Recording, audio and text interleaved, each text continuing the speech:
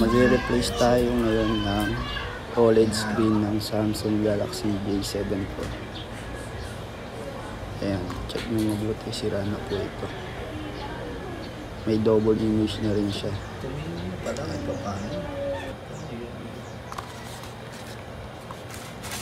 Ngayon muna natin gagawin ay patayin muna natin yung unit para maiwasan ang anumang short circuit.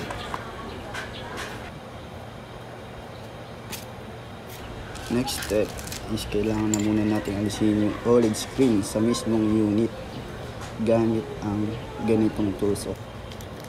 Mas maganda nito kung gagamitan muna natin siya ng heat blower para lumambot agad yung pandigit para mas mabilis rin natin siya ma-remove sa unit.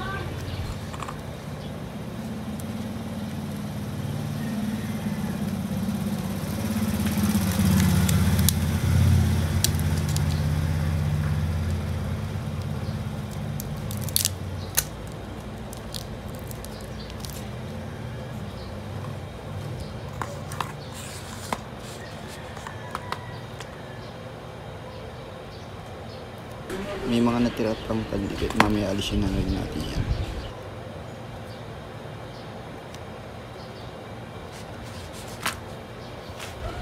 Ngayon, open na natin yung in-order kong OLED screen from Lazada.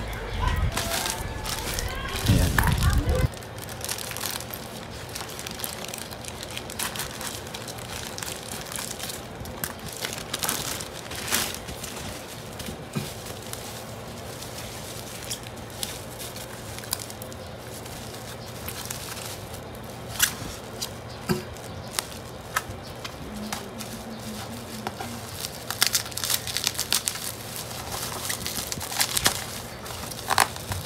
Maganda yung pagkakabalot. Secured siya ng wrap.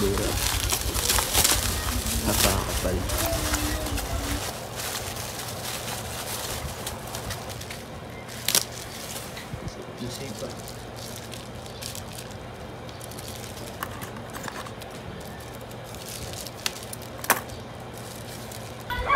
Ibang halong yung kulay na dumating. Rose gold siya. Hindi yung gaya ng stock natin na kulay black. Tama. Pero okay na yan. Testing na natin. Bago muna natin ikabit yan totally, kailangan muna natin testing yung OLED screen na binili natin.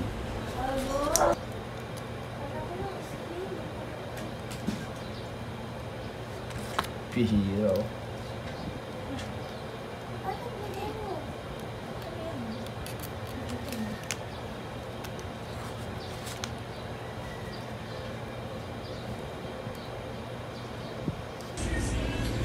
Nice, may display na siya.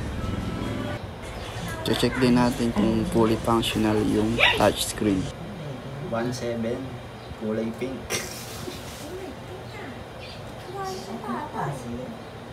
Bakla naman ang lahat.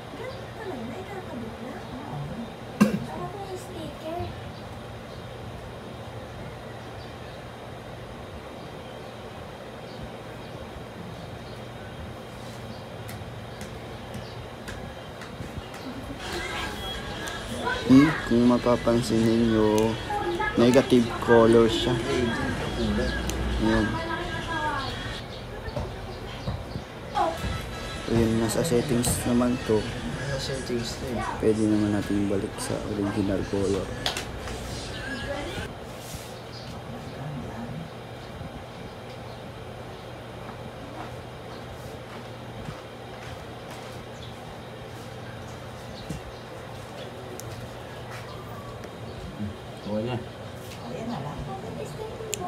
Tapos na si Efren, di ba? Ha? Tapos na? Alright, it's perfectly working na po. Susunod natin gagawin ay didikitan na po natin siya. Patayin muna natin yung unit. Gaya ng ginawa natin kanina. Remove the screen. Tapos, tanggalin yung sticker. Yung warranty sticker. Wag muna. para may assurance tayo kung sakali magka-aberya. Alisin na natin yung mga naiwang pandikit.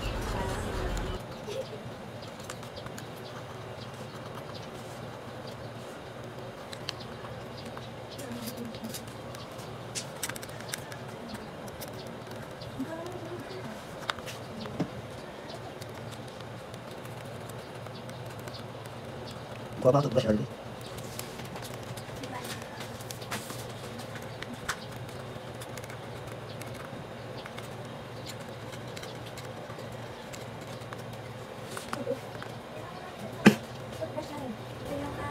Baka basa pa yan eh. Linisan na rin natin siya. Alisan na natin ang alikabok. Since matatakpan na siya.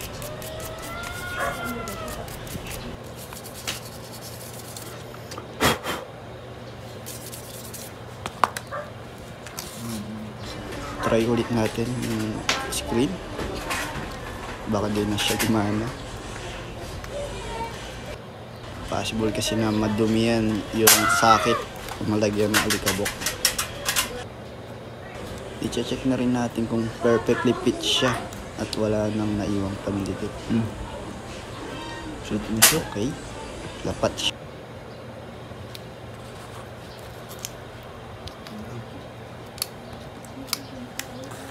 I-apply na natin yung C, ah, B7000. Ito yung pandikit sa mga phone talaga.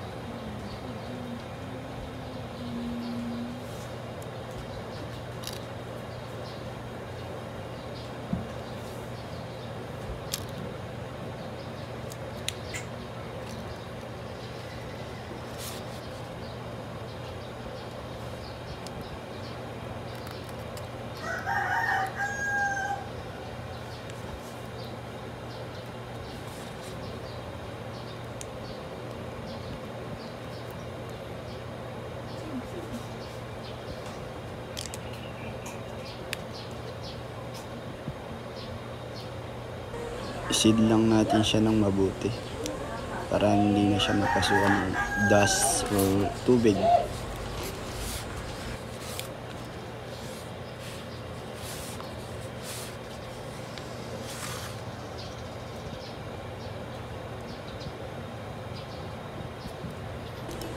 Tadan!